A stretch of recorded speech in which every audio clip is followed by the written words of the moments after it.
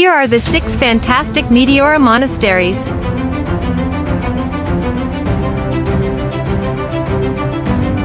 Number 1. The Monastery of Great Meteoron is the most famous of the monasteries and is believed to have been built in the 14th century.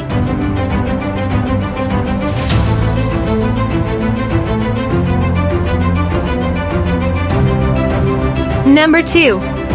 The Rousanou Monastery is located below the Great Meteoron Monastery and dates back to the 16th century.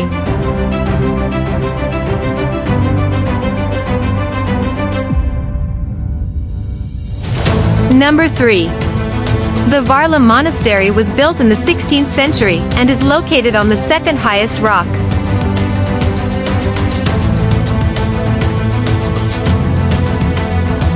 Number 4.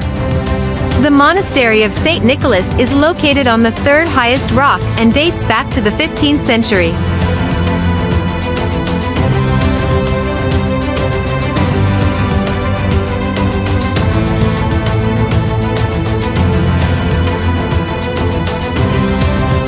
Number 5. The Holy Trinity Monastery is located on the fourth highest rock and dates back to the 14th century.